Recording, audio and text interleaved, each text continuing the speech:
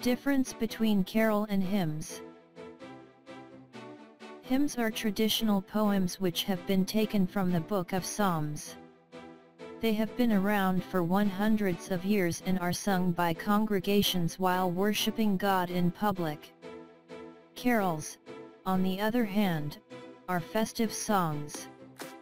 They are generally religious. Today, carols represent Christmas carols, Easter carols, and Advent carols. They may or may not be sung during church worship, and they have a very positive, festive, and popular character to them. Hymns are poems which have been taken from the Book of Psalms and are called traditional hymns.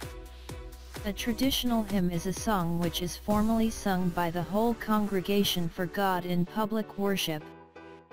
Hymns have directions for music directed in the Book of Psalms, and they may have different lyrics but are always sung using specific tunes. The melodies are very well interchangeable. Different hymns can be sung in the same composition of music. The rhythm of the hymns is always 8.8.8.8. Some hymns have very specific tunes and are always sung to the same music. For example, Amazing Grace is sung to New Britain. The music which is used for hymns is called chordal by trained musicians. Chordal music is believed to have a very positive, uplifting character. It is melodious and has a specific rhythm that is harmonious. In hymns, the main focus is on the words, and the music only emphasizes it. The music of hymns originated from classical music. It is almost always a four-part harmony. Hymns have melody, harmony, and music which reinforce positivity. Carols are festive songs.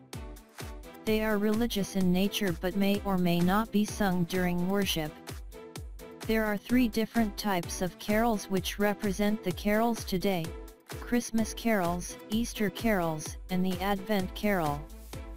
Christmas carols are sung before Christmas, and their lyrics have the themes of the winter season or Christmas. The music for carols has been traditionally derived from patterns of medieval chord. Some carols are as old as the Middle Ages.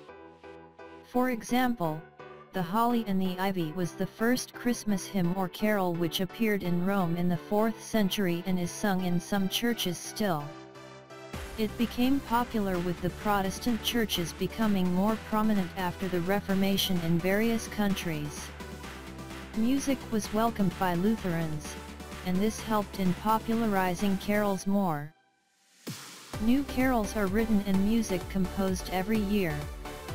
They may or may not have a religious theme too. For example, a song from the 16th century A Bone, God Wot, is regarded as a Christmas carol but is sung while drinking ale. Hymns are traditional poems or songs which have been taken from the Book of Psalms and are one hundreds of years old.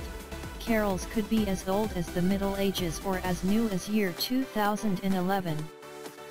They are written every year. Hymns have a particular music called chordal, carols may have traditional music or more modern and popular music. Hymns are always sung for God during worship, carols may or may not be sung during religious ceremonies. Hymns are sung in the praise of God, carols are basically sung today for the winter season, Christmas, Easter, or as Advent carols.